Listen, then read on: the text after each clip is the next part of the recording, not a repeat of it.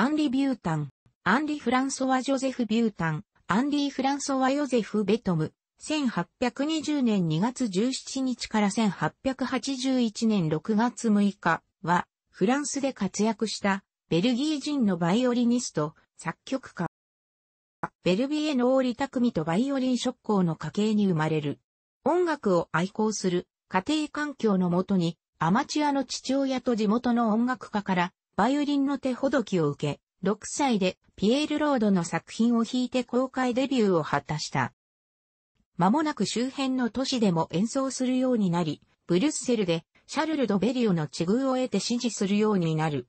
1829年にベリオに連れられてパリに向かい、この地でもロードの競争曲を演奏して大成功のうちにデビューを収めた。だが翌年には7月革命が勃発した上、シノド・ベリオがマリア・マリブランとイタリアに駆け落ちしたため、単身ブリュッセルに戻って演奏旅行に備えなければならなかった。その後は自力でバイオリンの演奏技巧に磨きをかける。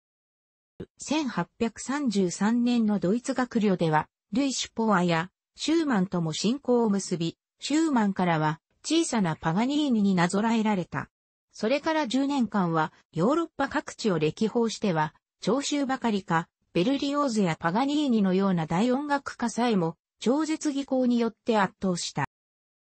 その傍ら、作曲家への憧れから、1835年の冬からウィーン音楽院に留学して、ジーモン・ゼヒターに音楽理論と対位法を翌1836年からはパリでアントニーン・レイハ、アントワーヌ・ライアーに作曲を指示。最初のバイオリン競争曲、後にバイオリン競争曲、第2番として出版はこの頃の終作である。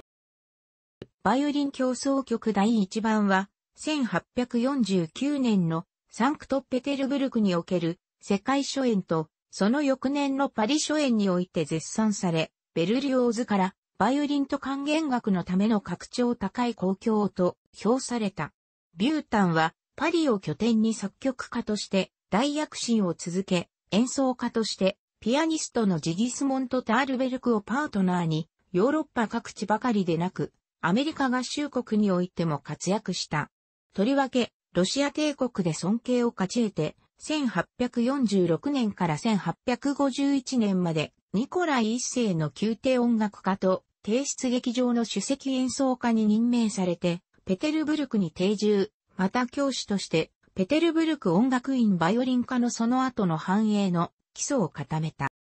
1871年に帰国し、ブリュッセル音楽院の教授として、ウジェーヌ・イザイラの逸材を輩出する。脳卒中による麻痺により右半身の自由を奪われたため、音楽院の講座をヘンリック・ビエニャフスキに委ねて、パリに渡って治療に専念した。次第に回復するかに見えた矢先の1879年、発作が再発、それきり演奏家としての経歴に終止符が打たれた。最晩年は、娘夫婦の暮らすアルジェリアに引き取られ、大ムスタファ、ムスターファ・サプザーユは療養所において、余生を過ごして作曲活動を続けたが、もはや演奏できず、ヨーロッパの芸術文化の中心地から遠く引き離され、自作が演奏されるのも聞くことさえ、ままならぬ我が身の不幸を嘆いていた。キャリッジで移動中に、現地の酔っ払いの投げた石で頭部を負傷し、その傷の合併症で、ムスタファ・レザルジェに手星した。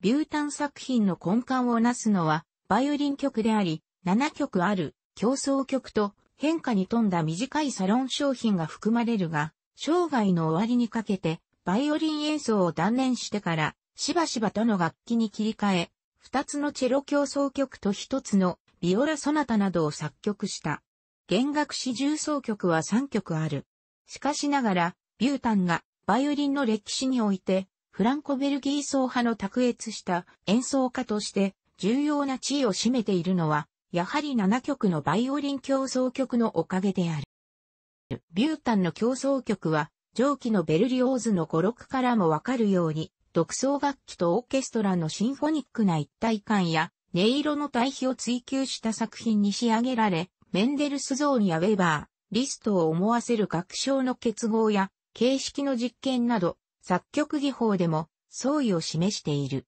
この意味で、同時代の演奏家による競争曲にありがちな独奏楽器がオーケストラを従えて超絶技巧を誇示する作例とは、ビュータンは一線を画している。晩年のチェロ競争曲は、ビュータンの鬱屈した心理状態を漂白するかのように、重苦しい情感に満たされている。ソリストとしてのビュータンは、自作の他に、ベートーベンやメンデルスゾーンの競争曲、さらに、ベートーベンの室内楽曲の演奏を通じて、当時のむやみと上辺だけの華やかさを追い求めるアイオリン界の風潮に規制を加え、古典的な奥行きをもたらした。ベルリオーズなどからの賞賛は、今となっては過方に思えるかもしれないが、それでもビュータンが良い趣味の持ち主で、真の音楽的感覚に従っていたことは認めておかなければならない。決して先輩バイオリニストたちのようには、薄っぺらな演奏技巧それだけに溺れたりはしなかった。結果として、ドベリオやロードなどの競争曲が、その内容ゆえに、時間の経過に耐えられなかったのに対して、ビュータンの競争曲は、例えば、サンサーンスの作例などと比較できるものにな、いる。このうち現在、最も演奏回数が多く、また完成度が高いと言われているのは、第4番、第5番である。楽しくご覧になりましたら、購読と良いです。クリックしてください。